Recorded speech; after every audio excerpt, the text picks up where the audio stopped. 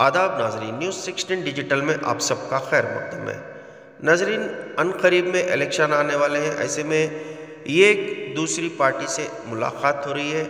ऐसे ही आज हज़रत अब्दुल करीम देसाई के घर, जो नौरंग कांग्रेस पार्टी के सदर हैं, उनके घर भास्कर राव, जो रिटायर्ड पुलिस कमिश्नर है, उन्होंने आम पार्टी की जानिब से इनसे मुलाकात की भास्कर राव आइए जानते हैं इसकी तफसीलात।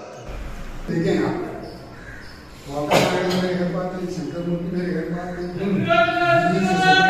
है अभी आगे क्या किया गया इसके बारे में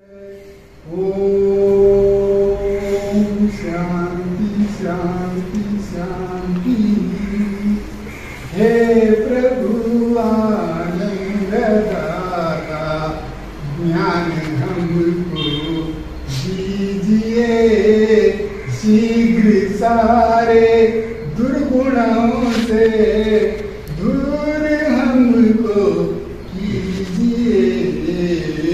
प्रभु होने के बावजूद मैं अब्दुल करीम हासिम की देसाई, मैं हिंदू हूँ। मैं हिंदू किस देश का हूँ? मेरी धरती का नाम हिंदुस्तान है। हिंदुस्तान का रहने के नाते मैं हिंदुस्तानी हूँ।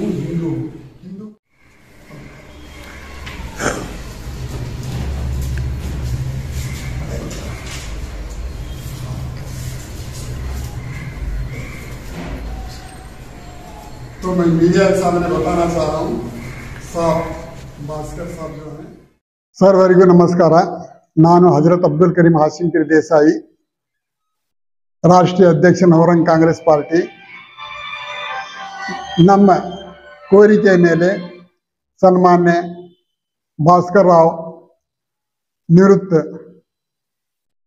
ಪೊಲೀಸ್ ಆಯುಕ್ತರು ಹಾಗೂ ಆಮ್ ಆದ್ಮಿ ಪಕ್ಷದ ಕರ್ನಾಟಕದ ನಾಯಕರು ನಮ್ಮ ಮನೆಗೆ ಬಂದಿರುವುದಕ್ಕೆ ನಾನು ಸರ್ವರ ಪರವಾಗಿ ಸ್ವಾಗತ ಬಯಸುತ್ತೇನೆ ಹಾಗೂ ಅಭಿನಂದನೆ ಬಯಸುತ್ತೇನೆ. ಕಾರಣ ಏನೆಂದರೆ ಇವರು ಸರ್ಕಾರಿ ಸೇವೆಯಲ್ಲಿ ಇದ್ದು ಮುಸಲ್ಮಾನರು ಸೇರಿದಂತೆ ಸರ್ವ ಧರ್ಮಗಳಿಗೆ ನ್ಯಾಯ ಒದಗಿಸಿದ್ದಾರೆ. ಅದೇ ನಿಟ್ಟಿನಲ್ಲಿ ತಮ್ಮ ಸೇವೆಯನ್ನು ಮಧ್ಯದಲ್ಲಿ ಬಿಟ್ಟು ಸಮಾಜ ಸೇವೆಕ್ಕಾಗಿ ಆಮ್ ಆದ್ಮಿ ಪಾರ್ಟಿ ಸೇರಿಕೊಂಡಿದ್ದಾರೆ. ನಾನು ಅವರಿಗೆ ಎಲ್ಲ ನಮ್ಮ ಸಂವಿಧಾನದಂತೆ ಇವರ ಪಕ್ಷ ನಡೆದುಕೊಳ್ಳುವುದಾದರೆ ಯಾವುದೇ ಷರತ್ತಿಲ್ಲದೆ ಅವರಿಗೆ ನಾನು ಸಂಪೂರ್ಣ ಸಹಕಾರ ನೀಡಲು ಬಯಸಿದ್ದೇನೆ. ಆದ್ದರಿಂದ ತಾವು ಈ ವಿಷಯವನ್ನು ಗಮನದಲ್ಲಿ ಇಟ್ಟುಕೊಳ್ಳಬೇಕು. ಈಗ ಸದ್ಯದಲ್ಲಿ ಕರ್ನಾಟಕದಲ್ಲಿ ಕಾಂಗ್ರೆಸ್ ಆಡಳಿತ ಆಗಿದೆ, ಬಿಜೆಪಿ ಆಡಳಿತ ಆಗಿದೆ. ಜೆ ಡಿ ಎಸ್ನವರು ಬೇರೆಯವರ ಬೆಂಬಲದೊಂದಿಗೆ ಸರ್ಕಾರ ರಚಿಸಿ ಎರಡು ಸಲ ಮಾಡಿದ್ದಾರೆ. ಈಗ ಜನ ಎಲ್ಲರೂ ಬಯಸ್ತಾರೆ ಅಂತ ನಾವು ಹೇಳಿದ್ರೆ ತಪ್ಪಾಗುತ್ತೆ. ಕೆಲವು ಜನ ಹೊಸ ವಾತಾವರಣ ಬಯಸುತ್ತಿದ್ದಾರೆ. ಅದರಲ್ಲಿ ದೇಶದಲ್ಲಿ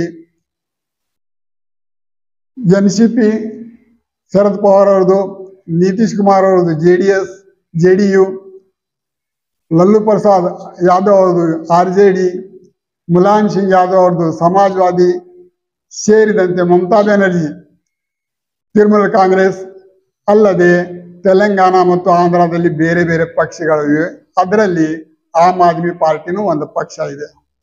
ಈ ಪಕ್ಷ ಸದ್ಯದಲ್ಲಿ ಮೊದಲು ದಿಲ್ಲಿಯಲ್ಲಿ ಸರ್ಕಾರ ರಚನೆ ಮಾಡಿತು. ಆ ಮಾದರಿಯನ್ನು ತೆಗೆದುಕೊಂಡು ಪಂಜಾಬ್ನಲ್ಲಿ ತನ್ನ ಸರ್ಕಾರ ರಚನೆ ಮಾಡಿದೆ. ಇವಾಗ ಗುಜರಾತ್ನಲ್ಲಿ ರಚನೆ ಮಾಡಲು ಹೊರಟಿದೆ. ಅದರಂತೆ ಕರ್ನಾಟಕದಲ್ಲಿನೂ ಇನ್ನೂರ ಇಪ್ಪತ್ನಾಲ್ಕು ಕ್ಷೇತ್ರಗಳಿವೆ. ನಾನು ಭಾಸ್ಕರ್ ಸಾಹೇಬರಿಗೆ ಸಲಹೆ ನೀಡುವುದೇನೆಂದರೆ, ನಮ್ಮ ಪಕ್ಷದ ಬೆಂಬಲ ಬೇಕಾದರೆ ಅವರು ಮೊದಲ ತಮ್ಮ ಅಭ್ಯರ್ಥಿಗಳು ಎಲ್ಲೆಲ್ಲಿ ನಿಲ್ಲಿಸುತ್ತಾರೆ ಅವರ ಸಾಮರ್ಥ್ಯಕ್ಕೆ ತಕ್ಕಂತೆ ನಿಲ್ಲಿಸಲಿ ಅವರು ನಿಲ್ಲಿಸಿಬಿಟ್ಟ ಸ್ಥಳಗಳಲ್ಲಿ ನಾವು ಚಾಲೆಂಜ್ ಮಾಡ್ತೇವೆ. ಇಷ್ಟು ಮಾಡ, ಮಾತನ್ನು ಹೇಳ್ತೇನೆ. ಮುಂದೆ ಅವ್ರ ಪ್ರತಿಕ್ರಿಯೆ ನೋಡಿ, ಮುಂದಿನ ಮಾತು ಮಾತಾಡ್ತಾರೆ ಅಶೀಂ ಪೀರ್ ಅಶೀಂ ಪೀರ್ ದೇಸಾಯಿ ಅವ್ರ ಮನೆಗೆ ಬಂದು ಕೆಲವರು ಹಿರಿಯರ ಜೊತೆಯಲ್ಲಿ ಮಾತನಾಡಿ, ರಾಜಕೀಯ ಸ್ಥಿತಿ ರಾಜ್ಯದಲ್ಲಿ ಏನು ನಡೀತಾ ಇದೆ, ದೇಶದಲ್ಲಿ ಏನು ನಡೀತಾ ಇದೆ ಇದ್ರ ಬಗ್ಗೆ ತುಂಬಾ ಪ್ರೀತಿಪೂರ್ವಕವಾದ ಚರ್ಚೆ, ವಿಶೇಷವಾಗಿ ಅಲ್ಪಸಂಖ್ಯಾತರ ಕೊಡುಗೆ ಇತ್ಯಾದಿಗಳ ಬಗ್ಗೆ ನಾವು ಮಾತನಾಡಿದ್ವು. ಆಮ್ ಆದ್ಮಿ ಪಕ್ಷ ಬಗ್ಗೆ ನಾನು ಅವ್ರಿಗೆ ಸವಿಸ್ತಾರವಾಗಿ ಅವ್ರಿಗೆ ಹೇಳಿದೆ. ಈಗಾಗಲೇ ಕರ್ನಾಟಕ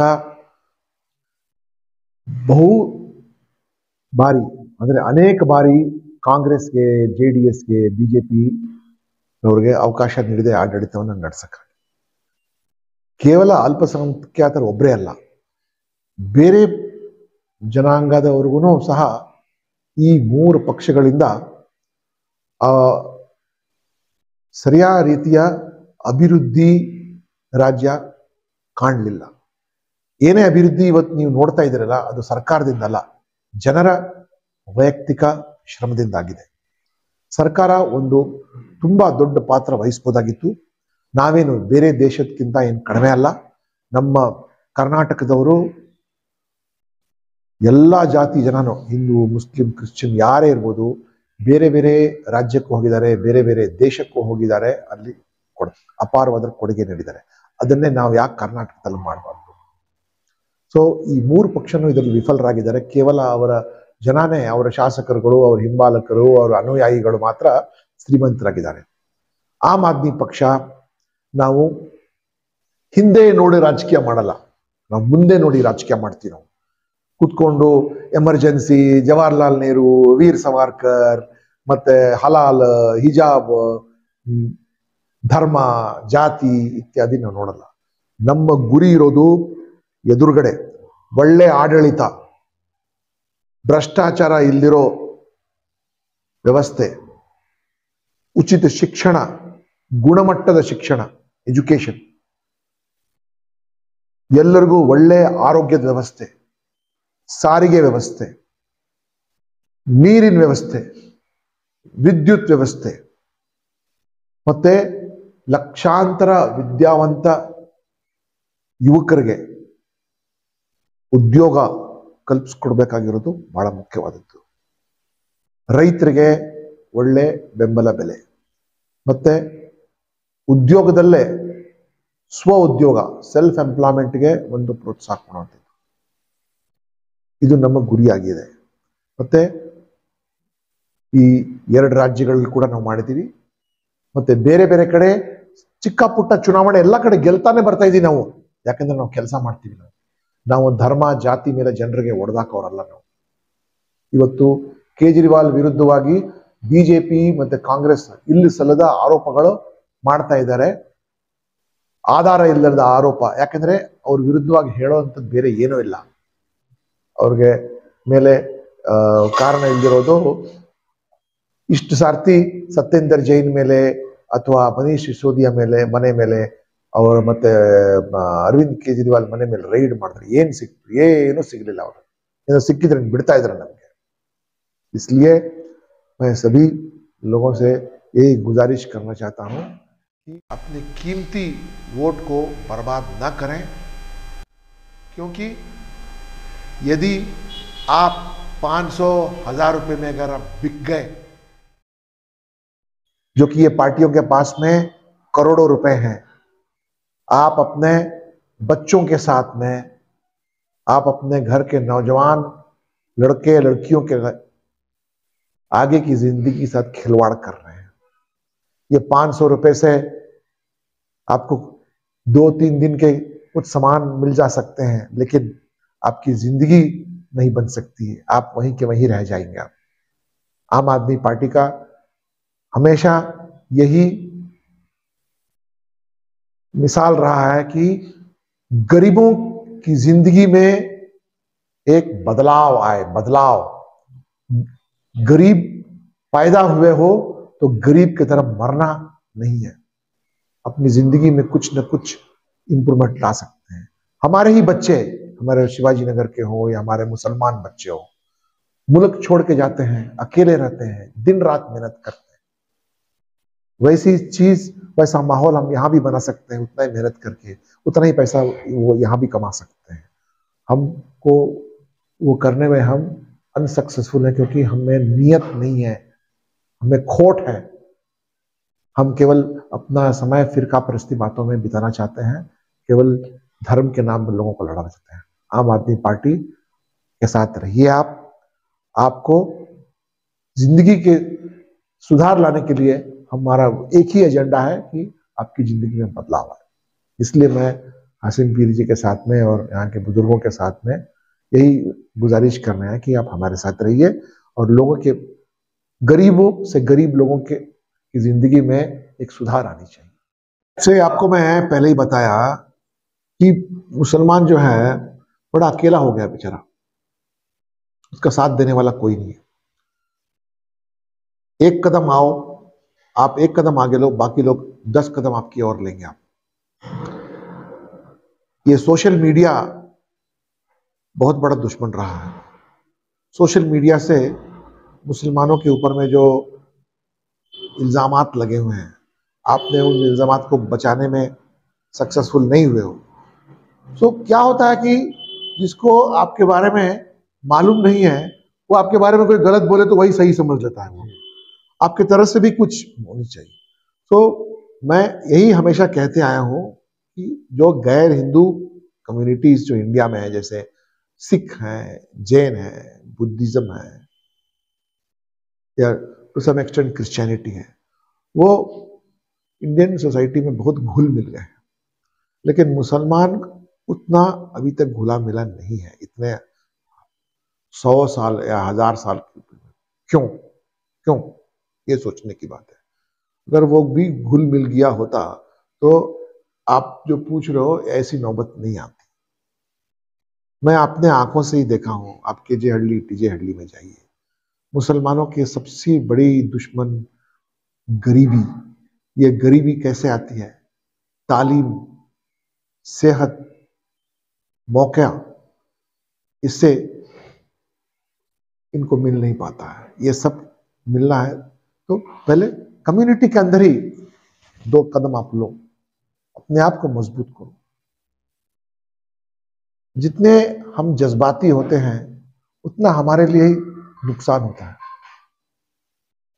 मेरे कहने से आपको बुरा लगेगा, लेकिन मैंने आपको दिल की बात कह दी क्योंकि मैं तो खड़ा होकर सारे कम्युनिटी को बहुत पास से देखा हूँ, सारे कम्युनिटी के लीडरों को बहुत पास से देखा हूँ। क्योंकि हमको अपनी अपनी ज़िंदगी के बारे में सोचना इंपॉर्टेंट है। ऊपर वाला जिसको कि अलग अलग नामों से जाना जाता है, हम सबका देखभाल करता है। पहले हम इंसान हैं। अगर लोग हमको फिरका परस्ती बातों में भड़का के, हिंदू खतरे में है, इस्लाम खतरे में है करके जो लोग भड़का के भेजते हैं, उनके बच्चों को या उनके भाई बहनों को कोई तकलीफ़ नहीं होती है। यहाँ गरीब लोगों को ये तकलीफ़ होती है। इससे बच के रहना ही सबसे इंपॉर्टेंट है। अपना काम करो, तालीम पर ध्यान दो, सेहत पर ध्यान दो। बहुत बार मैं अलग अलग जगह जाता हूँ, बहुत सारे मुसलमान बच्चों से बातचीत करता हूँ। तो बोलते पढ़ा क्यों नहीं? बोलता, पैसे नहीं है। नहीं पढ़ा। नौकरी मिल गई, नौकरी कर ली मैंने। अरे तो तुम्हारी नौकरी से तो ज़िंदगी पर नहीं पढ़ाने तो उसके वालिद या अम्मी, वाले अम्मी को, मामी तो नहीं, वालिद को पुस्तक पढ़ाए पैसे नहीं थे। जब सरकारी स्कूल अच्छे होते तो बच्चा पढ़ा होता अच्छी तरह से। सरकारी स्कूल, लोगों को सरकारी अस्पताल से नफरत है, सरकारी स्कूलों से नफरत है, सरकारी बसों से नफरत है। लेकिन सरकारी नौकरी से बहुत मोहब्बत है क्योंकि लूटपाट कर सकते हैं वहाँ पर और अपना रौब जमा सकते हैं। हमारा मकसद यह है कि सरकारी स्कूल अच्छे बने सरकारी अस्पताल अच्छे बने सरकारी बस अच्छे बने सरकारी तालाब अच्छे बने सरकारी बैंक अच्छे बने ताकि सबका इससे फ़ायदा हो सकता है। आखिर में सर एक बात ये भी नहीं तुम्हारे सवाल का जवाब अधूरा रहा आप क्या पूछे? हम ना भागीदारी नहीं मिल रही गवर्नमेंट में। अरे भागीदारी कब मिलेगी जब तुम वोटिंग के पहले पूछना है तुम्हारा वोटिंग के पहले आओ, हम आदमी पार्टी पास बैठो, तुम्हारे मुसलमान के कितने लीडर बनते बोलो, किसे क्या होना बोलो, भागीदारी दीजिए बोलो, आगे। आज बैठ, बात करो। जब तुम्हें वोटिंग के पहले नहीं बात करेंगे वोट किसी को देंगे, भागीदारी कहें, पूछेंगे तो कहा मिलेगी भागीदारी? मुसलमान जो है, हमने देखा कि मिलजुल कर रहना चाहते हैं घुल मिल रहे हैं। काफ़ी सारे मुसलमान जो है, मुस्लिम ऑर्गेनाइजेशन के जानब से सर्वधर्म प्रोग्राम हो रहे हैं। हिंदू भाइयों को बुलाया जाता है मुलाकातें होती है मस्जिद दर्शन प्रोग्राम हो रहे हैं। अच्छा है। लेकिन मैं इसका इस्तेमाल करता हूँ। अच्छा है बहुत अच्छा है। ऐसे होते रहना चाहिए। और घर छोड़ के भाग जाओगे। सब तरह के रहते हैं। रास्ते में निकलोगे वो कुत्ते हैं बिल्ली है कोई गाय आपको कोई आपको मारने आएगा तो क्या घर से निकल निकलना ही छोड़ दोगे क्या? वो सब ज़िंदगी में रहती है आपको रहना है ताकतवर बनना है। पहले अपने ताकत को पहचानो। पहचानो। दूसरों से मदद मारने से पहले। आपने कहा, भागीदारी। सी, पहले ऐसा समय था कि लोग आँख बंद करके बिना कम्युनिटी को देखे वोट डाला करते थे। अब क्या हो गया कि ये रिलीजन बेस्ड पार पॉलिटिकल आपका S D P I P F I A I M आपका वोट तो दो गली, तीन गली, चौथे गली कर सकते हो। नीड ऑफ़ द सबको मिलजुल के रहना है। मिल के रहना है। वही आप देखो बीएसपी जो शेड्यूल कास्ट के नाम पर चला हुआ चला थोड़ा दिन क्या हुआ? खत्म हो गया। और वो एसपी वो मुसलमान यादवों को मिला के चलने का कम्युनिटी पर करने आप तरक्की के बारे में बात करो। नौजवानों को एक अच्छा फ्यूचर देंगे उसके बारे में बात करो वो चलेगा।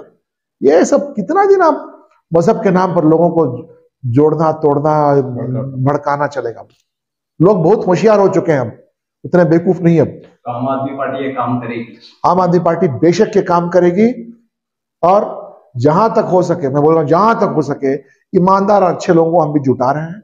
मुश्किल काम है लेकिन आ रहे हैं। दस साल के अंदर में हमने दो स्टेट में हम सत्ते में आ चुके हैं। बहुत सी जगह हम चुनाव जीत गए हैं। गुजरात में भी बहुत अच्छी खबर आने वाली है और हमारे लीडर जो केजरीवाल साहब हैं दिन रात लगे हुए हैं। उनका कोई छप्पन इंच का सीना नहीं है बेचारे छोटे कद के हैं। दुबले पतले छोटे कद के हैं लेकिन बुलंद आवाज़ है और बुलंद इरादे हैं उनके। और पढ़ा लिखा आदमी है। उसकी डिग्री के लिए किसी को दिखाने की ज़रूरत है आईआईटी का पढ़ा हुआ है इंजीनियर है ब्रिज बनाता है पुल बनाता है स्कूल बनाता है अस्पताल बना सकता है। केवल झगड़ा नहीं करा सकता है।